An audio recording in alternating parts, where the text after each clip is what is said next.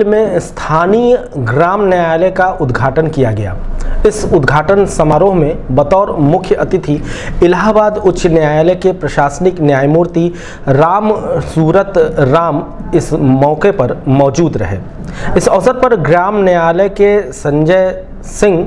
जो कि जज हैं, तहसील के पैनल अधिवक्ता जगदीश मौर्य, तहसीलदार रत्नेश तिवारी, वरिष्ठ अधिवक्ता अवनीश मणि त्रिपाठी, सुरेंद्र नाथ सिंह, तहसील बार एसोसिएशन के अध्यक्ष हरिहर प्रसाद, महामंत्री अजीत कुमार, तहसीलदार चौरीचौरा रत्नेश कुमार सहित अनेक अधिवक्तागण मौजूद रहे अलग अधिनियम से संसाधित संचालित है लेकिन अगर आपकी मांग और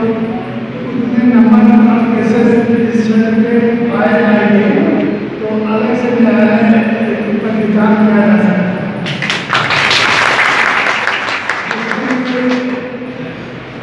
भी आपकी सहयोग अपेक्षित रहेगा और आप